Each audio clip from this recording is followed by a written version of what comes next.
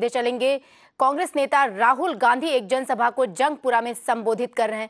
उन्हें सुनते हैं। पाकिस्तान में जाकर हिंदुस्तान जिंदाबाद करता है और फिर जेल में गया। तो ये है आपके लोकल नेता। ये कहाँ पढ़े थे? यहाँ स्कूल में पढ़े थे। और इनके दरवाजे 24 घंटे आपके लिए खुले मिलेंगे। अच्छा अच्छा चुनाव हारे, मुझे एक बात बताओ। चुनाव हारने के बाद ये आपके बीच में थे, हाँ या ना? इनके दरवाजे आपके लिए खुले थे, हाँ या ना? आपके जो एमएलए हैं, आम आदमी पार्टी वाले, उनके दरवाजे आपके लिए खुले हैं क्या? तो चाहे वो बीजेपी हो, चाहे वो आम आदमी हो,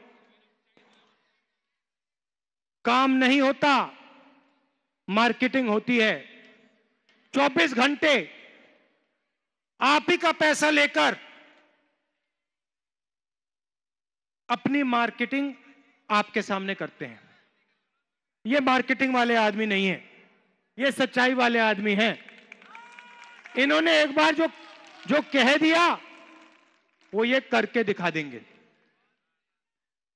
तो इनका आप पूरा समर्थन कीजिए। अब थोड़ा सा मैं आपको दिल्ली और देश के बारे में कहना चाहता हूँ। मोदी जी आए, पाँच साल हो गए। आपको याद है, नरेंद्र मोदी ने कहा था, दो करोड़ युवाओं को रोज़गार दूँगा। याद है? याद है? याद है। मिल गए? मिल गए दो करोड़ युवाओं को रोज़गार, हर साल। ना। दिल्ली में आम आदमी पार्टी ने रोज़गार के लिए क्या किया, मुझे बता दो। मुझे बता दो यहाँ पे बेरोजगारी के लिए अरविंद केजरीवाल ने क्या किया। बेरोजगारी बढ़ी? बढ़ी? नोटबंदी कांग्रेस पार्टी ने की, नरेंद्र मोदी ने की? गब्बर सिंह टैक्स कौन लाया? नरेंद्र मोदी लाया, कांग्रेस पार्टी लाई? नोटबंदी से गब्बर सिंह टैक्स से आपको फ़ायदा हुआ, नुकसान? कुछ ही दिन पहले फाइनेंस मिनिस्टर कहती है, इंटरव्यू में उससे पूछा, उनसे पूछा, आप बताइए, कितने रोज़गार पैदा किए? वो कहती है, मैं नहीं बताऊँगी। मैं नहीं बताऊँगी कितने पैदा किए। इंटरव्यूअर ने पूछा, क्यों नहीं बताओगी? कहते, अगर मैंने कह दिया तो फिर राहुल गांधी सवाल उठाएगा, मेरे पीछे पड़ जाएगा। राहुल गांधी कहेगा कि झूठ बोल रहे हो। मतलब फाइनेंस मिनिस्टर कह रही है कि मैं कहने को तैयार नहीं हूँ। मैंने कितने युवाओं को रोज़गार दिलवाया। आपने बजट देखा? तीन घंटे। तीन घंटे।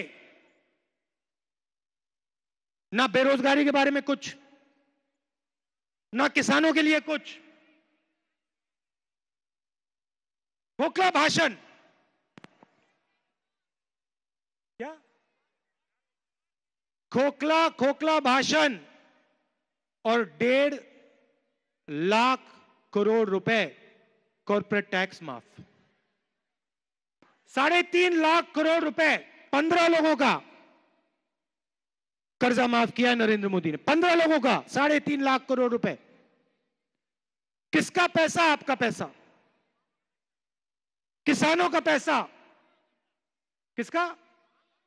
हाँ बेरोजगार युवाओं का पैसा। आपके जेब में से निकालकर नोटबंदी करके गब्बर सिंह टैक्स लागू करके आपके जेब में से निकाल कर पंद्रह लोगों को दे दिया। नाम जानते हो?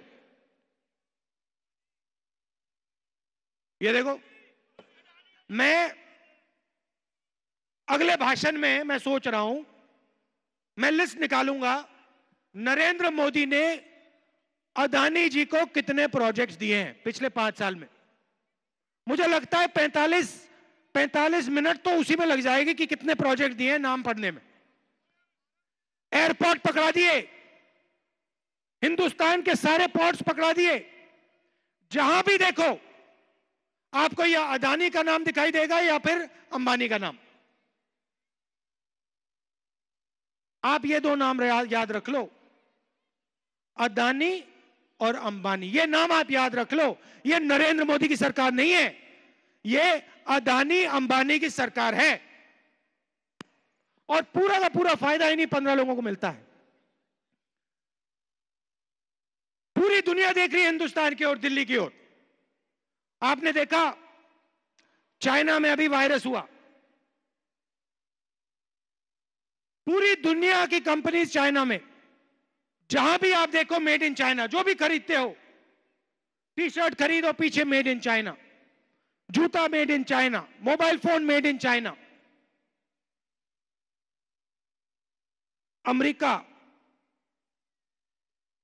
Japan, Australia, England, Germany, France, Italy, सबके सबने अपनी कंपनियों को चाइना भेजा।